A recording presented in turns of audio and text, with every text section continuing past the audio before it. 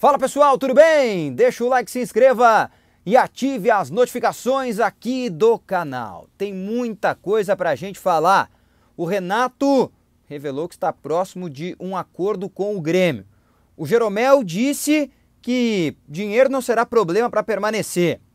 O Bruno Rodrigues voltou à pauta e tem um meia que foi oferecido ao tricolor. Tudo isso e muito mais depois da vinheta.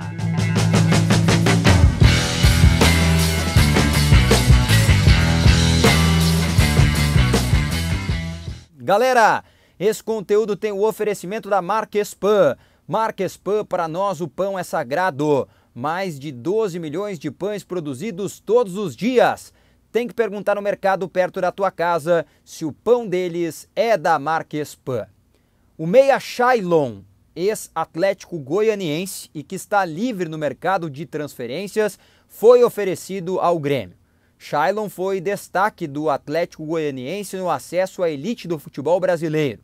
Ele está livre depois de uma passagem de destaque no Atlético, procurando uma nova equipe. E foi ofertado ao tricolor que faz uma análise sobre a possibilidade. Vale destacar que o jogador é uma opção que aparece num raio de probabilidades, tendo em vista que o Grêmio procura titulares, mas também opções para o elenco. Por hora não há uma proposta, apenas uma análise depois de uma oferta que foi feita ao departamento de futebol.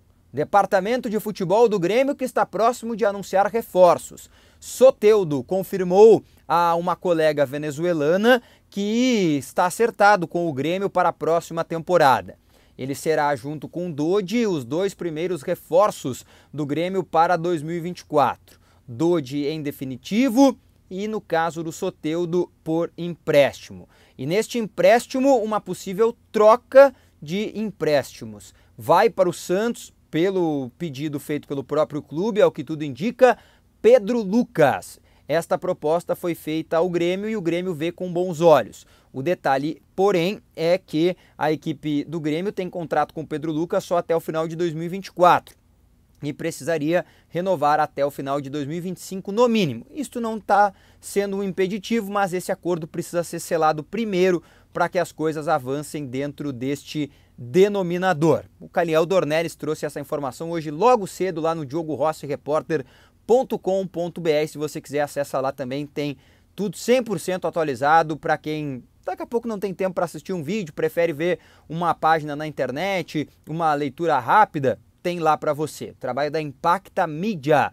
É, não esquece, Impacta Mídia é uma empresa de comunicação digital que fez o meu site, pode fazer a comunicação digital da sua empresa. Tem profissionais em Portugal, na Espanha, nos Estados Unidos, na Austrália e há 16 anos tem expertise para poder ajudar você que está precisando. Falando em expertise, tudo indica que o Grêmio terá Renato Portaluppi para a próxima temporada. O Renato participou do podcast Joga com a 10, o podcast da Carol Portaluppi, e disse que está tudo bem encaminhado para ele ser o treinador do Grêmio em 2024. Ele gravou ontem esse podcast e disse que no caminho até lá vinha conversando com o Antônio Brum, vice de futebol do Grêmio, justamente para acertar detalhes finais e, obviamente, também falando sobre contratações. O Renato disse né, no podcast que está por alguns detalhezinhos apenas de renovar o seu contrato com a equipe tricolor por mais um ano. Falando em renovações, nos próximos dias o Grêmio deve se encontrar com o representante de Pedro Jeromel. Jeromel disse hoje na Rádio Gaúcha que dinheiro não será problema. Ele está faz 10 anos aqui em Porto Alegre, né, está se aproximando de 10 anos com a camisa do Grêmio e diz que quer encerrar a sua carreira jogando no Grêmio.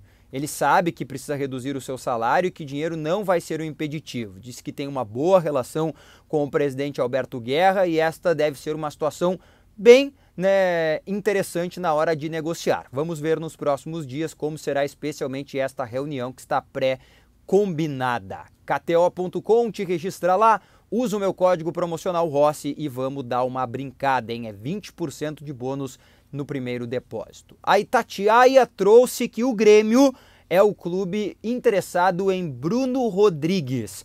O atacante do Cruzeiro, que pertence a Tom Bense, é o jogador que o Grêmio procura no mercado. De acordo com a Itatiaia, o Grêmio faria uma proposta financeira dentro dos moldes que interessam ao Tombense e ao Cruzeiro e levaria o jogador com patamares salariais bem elevados, ele jogaria em Porto Alegre. E além disso, seria, seriam pagos também um valor de luvas para que o atleta acertasse com o tricolor. Bom, faz duas semanas que eu recebi uma informação neste sentido. Inclusive, conversei com o Thiago Fernandes, um grande parceiro da TV Bandeirantes de Belo Horizonte também do portal Gol, e nós conversamos com muitas pessoas que nos negaram esta informação. Hoje, inclusive, estou aqui neste vídeo dizendo: olha, vocês que nos negaram.